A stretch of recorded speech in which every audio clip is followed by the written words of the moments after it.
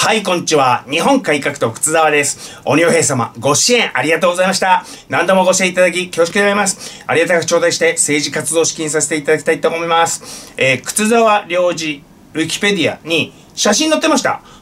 載せてくださった方、ありがとうございました。えー、2024年秋までに、現在の保険証を廃止し、マイナカード一体化カードを持たない人救済のために、えー、2024年秋以降も期間限定で現在の保険証を使える措置を検討中だそうであります。えー、よくわかりませんけれども、えー、ネットの反応です。これで不正使用者も一安心。それじゃダメだろう。えー、それは保険証というのでは、え、紙の人、え、紙にもカードと同様に顔写真、本名、通名、国籍、元国籍を記載せよ。えー、カード保有を義務化でいいじゃん。えー、だったら今までの保険証でいいのでは不正の温床になるから逃げ道作んなよ。えー、この発表に対して枝野幸男。だったら従来の保険証を残せば良いだけです。えー、ネットの反応です。停電がー。えー、マイナカードに反対する人はマイナカードによって本人認証されて困る人だけ。保険証にマイナカード情報を内蔵すれば、えー、逆にマイナカードに保険証機能をつけるんじゃなくて保険証にマイナカード機能をつける。えー、これいいかもしんないなえー、カード作れない人って一体、てんてんてん。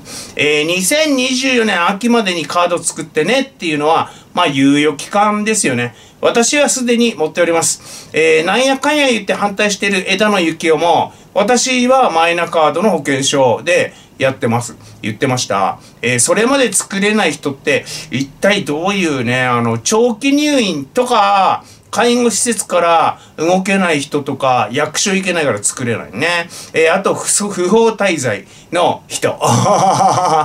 日本にいないことになってる人 は作れないよね。まあ、あの、ナンバー自体は、住民票を見ればわかるんですけれども、えー、マイナンバー自体はもうすでにあの割り振られてまして、カード持ってるか持ってないかの違いなんですけれども、えー、そうではないのに紙の保険証を使い続ける人は医療機関にですね、紙の人ってあだ名つけられちゃうかもしれないですね、これね。えー、身元隠す目的でですね、カード保険証使いたくない対策としては、紙の保険証にも、えー、マイナンバー機能を持たせる。マイナンバーが記載されてて、えー、その番号を入力、あるいは紙の保険証でもあのバーコードかなんかで、えー、読み取ってですね、えそうするとあの本名、通名、国籍、元国籍、顔写真が呼び出せるようにすれば、あカード保険証と変わんないですね。え顔写真に関しては、まあまああの役所にあのカード作りに行くときに取るんですけれども、えー、そういうですね、あの、デジタルなとこは変えるの早そうなんですけどね。まあ、あの、小さい病院で、そんなにお金出せねえって、えー、機械買い替えらんねえなんてとこもありそうですけれども、えー、フジテレビ、岸田総理、山際大臣、更迭を検討。山際大志郎経済大臣、経済担当大臣、神奈川県の人だそうでございます。えー、岸田総理、そういった事実はない。えー、山際経済大臣辞任へ。旧統一教会の問題。事実上更迭と、えー、時系列なんですけど、えー、10月24日昨日はですね、えー、フジテレビが更迭検討11時54分。岸田そういう事実はない。13時59分、えー、辞任。15時48分と。なんか、右往左往ですよね。昭和の自民党を見てるみたい。えー、これを右往左往と言わずに、何と言えばいいのか。一日のうちでこんなにコロコロコロコロコロコロコロコロ言うこと変わってね。えー、ネットの話、どっちやねん。どっちやねん。マジの風緑。え岸田もやめろ、バーカ。えー、時期を逸したな。問題は岸田に決断力がなさすぎるところ、え、当事者意識なさそうだな岸田、えー、この人ねあの何でもかんでも人事他人事なんかあの浮世離れしてるっつうかポワーンとしてるっていうか鳩山幸夫の匂いがプンプンしますよね、岸田さん。今の岸田には自我がないように見える。えー、私もそう思う。なんかあの、空っぽ？なんかあの、ロボット？顔はカマキリみたいに見えてきましたけれども。あまり嫌だ。麻生やるに遠慮してたからかもしれないが、遅すぎる。えー、麻生派なんだって。山際経済大臣って麻生派。皆の意見を聞きすぎて、うおー、さおー。まさしくこれですね、これね。えー、一定規模以上の集団には、必ず現状維持を望み、変化を望まないネガティブな人間が存在するそうであります。えー、これをですね、ネット2ちゃんでは、デモデモだってと、えー、呼ぶんですけど、えー、なんかこうすればああすれば、でも、でも、だってって言うから、でもでもだって、えー、って言うんだって、えー、そろばんしないと、バカになるこれあの計算機が普及し始めた頃、えー、そろばん使わないと指先使わないからバカになっちゃうんじゃねえかえー、いう人、えー、ゲームばかりではバカになる、えー、これですね、あの、テレビ局が主に言ってたんですけれども、ゲーム、する、してばっかで、テレビ見てくんないとこっちの商売上がったりだっつって、えー、ゲームのとかいう言葉こさえて、盛んにこんなこと言ってました。有機農業が良いに決まってる。えっ、ー、と、50年前はですね、えー、化学肥料の方がいいに決まってるって。有機肥料は、海中とか、あの、寄生虫の問題があるんで、化学肥料の方がいいに決まってるっつってですね、こんなこと言ってましたけれども、えー、これはですね、こういうあの、デモデモだって、ネガティブな人間が、一定以上の規模の集団に必ずいる。パーセンテージはわかんないですけど、必ずいるどこにでも。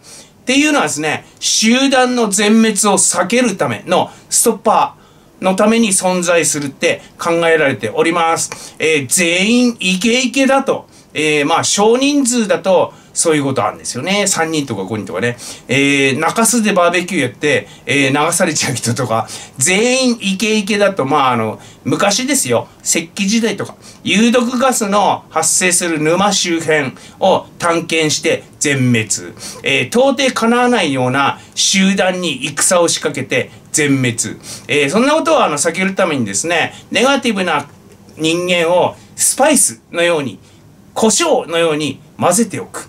というふうに考えられてるんですけども、えー、でも、デモデモだってが、一部ならいいけどさ、リーダーがそれじゃダメだろ。リーダーがデモデモだってじゃダメだろ。えー、キッシーのこと。えー、徳川家康のあの軍議の話なんですけど、えー、お題を与えて部下に好き勝手発言させる。えー、例えば、武田を攻めるかどうか。え攻めるとしたらいつがいいか。え自分は口を挟まずに、それをじーっと聞いてんだって。自分はあの一切発言せずに。え一旦軍議を終了する。意見で尽くしたなーって思ったら、あの、軍議を終了する。えー、後ほどですね、自分であの、いろいろ聞いて、ふんふんふん聞いてて、決めた方針をですね、じゃあいついつ攻めっからとかですね、えー、今回は攻めねえで、どこそこの守りを固めからっていうようなですね、方針を君主の鶴の一声として発表する。もう決定事事項であって、えー、これに意見することは許さない。というようなふうにね、えー、方針に自分の意見が入ってた武将は、まあ、感謝しますよね。えー、あ、採用してくれた。え自分の意見が採用されなかった武将でもですね、人前で、そんなのダメだろって、え殿様に言われちゃうと恥かいちゃうから、え鶴の一声、え意見は許さない。もう決定事項出るっていう、あの、独裁の、えー、言葉なんで、まあ、あの、恥かかないっていう、そういうようなシステム。こういうようなことを徳川家康はやってたようです。えー、全て独断してた信長とか、あの、謙信に比べると、慎重リーダーシップ。とでも呼べんのかな私は思いますけれども、何か言いたいか、何が言いたいかっていうと、キッシーはリーダーの器じゃないってこと。女人の意見聞きすぎて右往左往リーダーの器じゃないってこと、えー、実務を取り仕切る番頭さんとこなら合ってっかもしんねえな、騎士やな。えー、なんかあの慎重で、おっきなあの失敗しなさそうだしね。えー、山際大臣が辞任したことについてネットの意見。さっさと更迭した方が印象も良かったのに、えー、世間の批判に向けて更迭しましたって取られるな。えー、こんなに記憶を喪失してしまうなら、しゃあないな。何を聞いても覚えていない、記憶にないで、地方省まっしぐら。大臣以前に、こんな記憶力で議員が務まんのかという利権が多かった。えこいつの記憶力は入院検査が必要なレベルだった。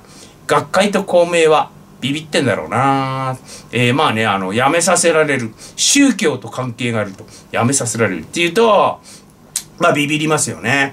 えー、この人のあの、苦しい答弁見てませんけれども、投稿から察するにですね、記憶にございませんとか、覚えてませんとかを多用したんでしょうね。えー、これ流行ったのは、あの、私10歳の時ですから、えー、長野健二でしたっけ？えー、昭和も昭和ですよ。なんなのこの先祖返りは。えー、他者から記憶力を心配されてる山際大志郎経済大臣。えー、調べたら、10位でした。あははとほほ。10位ってこんな記憶力でもなれるんだって思われたら、どうすんだってやめてくれってね。えー、靴沢は、元10位とか勘違いしてる人もいて、そういう風に書き込んでる人もいるみたいですけど、今でも10位ですかね、私。えー、まあ関係ないですけどね。えー、山際大臣、20年間の議員生活で数千、数万の会合に出ている。全部覚えている方が不自然とかも言っちゃったそうであります。えー、20年って700、7300日ぐらいでしょ。数万の会合に出れるわけねえだろ。と、早速ツッコミが入っておりました。やっぱダメだな、この人な。あの、初めから大臣の器じゃなかったな。えって、えー、思います。立憲の安住淳、突然の辞任は無責任とか言っちゃって、やめてもやめなくても文句言うと。ネットの反応です。様式美。平壌運転。やめろって言ってたくせに。批判ができれば何でもいいって感じ。ああ言えばこういう。立憲を応援できない理由はこういうところ。ガソリンをプールで保管発言も突然で無責任だった。ガソリンプールで泳いでるバーカ。というですね、えー、自分らが大騒ぎして辞めさせたくせに、まあ文句言えれば何でもいいと、えー、いつもの立憲で安心しました。えー、それで騙せるですね、えー、バカ以外は、あの、安住淳さん素敵とか、この言葉で、え、思っちゃうような、あバカな人以外はですね、みんな離れていってしまいましたね。えー、安住ってあの、まだね、あの、露出が多い、テレビに出る機会の多い国対委員長やっさんだ。こいつのせいでかなり支持者が離れた自覚ないみたいですね、立憲はね。えー、このまま、そのままこいつを表に出しといてですね、今のまま支持率ぐんぐん右肩下がり、下げ止まらないっていう風になってほしいもんだなって思います。えー、ツイッターでですね、一般の方、えー、線路内立ち入り撮り鉄のせいで列車止まっちゃったよ。撮り鉄の世界も末期だな。えー、映像付きでツイートしておりました。えー、まあ、あの、短い映像ですけど、電車止まってて、脇のあの山と線路の間に、えー、3人ぐらいいて、なんかあの、のこのこ、あの、影に隠れてるようなね。えー、羽鳥慎一モーニングショースタッフ。投稿された映像のお話を伺えませんか？えー、一般人。玉川徹の偉そうな態度と発言が大嫌いなので、そちらの番組には協力できません。スタッフ、承知いたしました。というようなやりとりがありまして、えー、ネットの反応です。ナイス。えー、大爆笑。直球すぎて笑う。グッジョブスとしか言えん。正直で好感が持てる。これぐらいはっきり言わないとな、えー、捏造番組に情報を渡すな。どの曲も、ツイッターでネタ探しすぎだろう。えー、しかもタダで使おうとするしな。自力で取材できないなら、とっとと潰れろよ。えー、民放各国、各局がですね、えー、一般人のスクープ、えー、ツイッターとかを使わせろって言ってきた場合ですね、こんな要求も一緒にしてきます。えー、これに合意してください。ね。これを了承してください。えー、ただで使わせろ。え、映像や画像の著作権はもらうから。え、今後も、あの、好き勝手使わせてもらうからっていうですね。え、まああの、あの時、あの人は今みたいな、え、そういうあの昔の映像なんかの時にも勝手に使わせてもらうから。著作権を起こす映像公開によって何らかの問題が生じたり、民事提訴されても局は感知しない。お前が、あのー、片付けろと。えー、などなど、あの、徹底的にですね、テレビ局に都合がいい要求してきます。えー、例えばですけど、あの、街の風景を写してる写真使わして、映像使わしてですね、えー、浮気相手と渋谷にいたことがバレてしまった。賠償しろって、えー、訴えられる可能性も絶対ないとは言えないですよね。